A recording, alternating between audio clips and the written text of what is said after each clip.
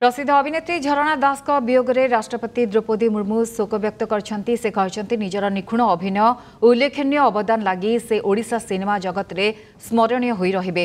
ଶୋକସନ୍ତପ୍ତ ପରିବାରକୁ ସମବେଦନା ଜଣାଇଛନ୍ତି ରାଷ୍ଟ୍ରପତି।